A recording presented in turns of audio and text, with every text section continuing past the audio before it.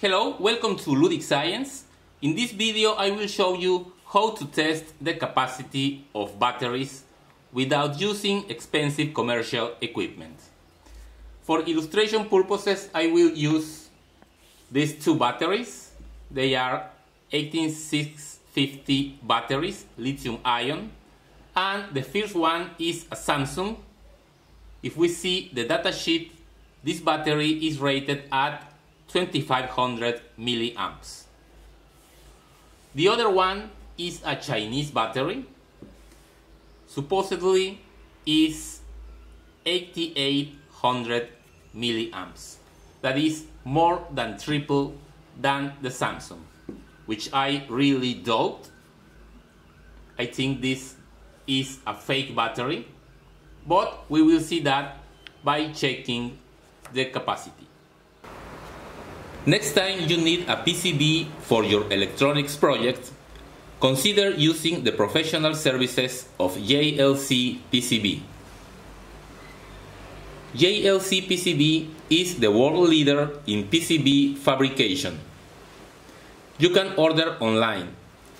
You just need to register, upload your Gerber file, and wait a few days for your PCBs at an unbeatable price. The first clue that this is a fake battery is the weight. We can see that the Samsung battery is 47 grams, while the Chinese weighs only 32, 31 grams. The capacity of a battery is given in milliamp hours. For example, if we have a battery with a capacity of 2000 milliamp hours, this means that the battery can give you 2000 milliamps for a time of one hour. If we draw less current from the battery, for example 1000 milliamps, then we can draw this current during two hours. If we draw more current, 4000 milliamps, then the battery will only give you this current for half an hour. In general, the formula to calculate the time is this. Capacity equals current times the time. Milliamps hours. And from here, we can obtain the time as capacity divided by current. For example, if we draw 500 milliamps from this particular battery, then the time will be 2000 milliamp hours divided by 500 milliamps and this will be 4 hours. In order to test the real capacity of a battery, we need to draw a constant current from the battery and check the time that it takes for the battery to completely drain out. For example, if we draw 500 milliamps constant from the battery and the time it takes for the battery to drain out is measured as 2 hours, then the capacity according to our formula is, remember, current times the time. So we will have 500 times 2 and the capacity will be 1000 milliamp hour. The battery that I will be checking is lithium ion batteries. They are fully charged at 4.2 volts and they are completely discharged when they reach 2.5 volts. In order to drain a constant current from the battery, I will use this dummy load that I built in a previous video. The link is in the description of this video. It is now set to draw exactly 500 milliamps from the battery. The battery is just charged. We can see that it has a voltage of 4.113 volts.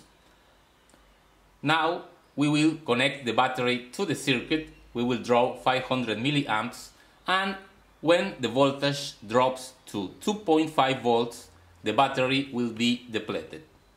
And we will keep the time in order to make the calculations. I'm going to connect the battery and start the time.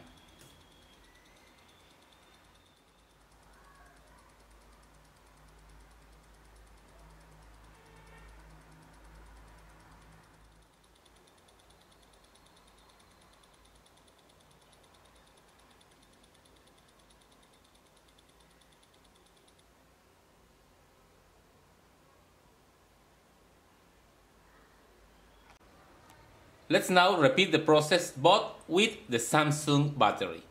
It is just charged up 4.166 volts.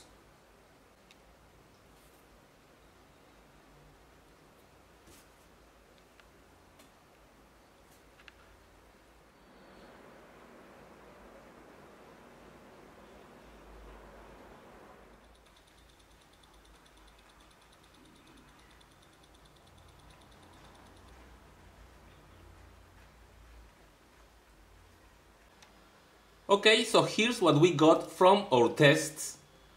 The Samsung battery had a time of 5 hours 20 minutes or 5.33 hours.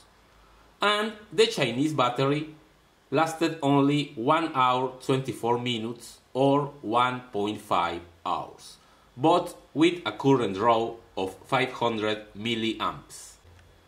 And here we have the capacities for the Samsung battery, the capacity is 5.33 times 500, that is 2665 milliamp hours. And for the Chinese battery, we have only 700 milliamp hours. Very different from the 8800 that it is supposed to be. Okay, so there you have a simple method to test the real capacity of your rechargeable batteries.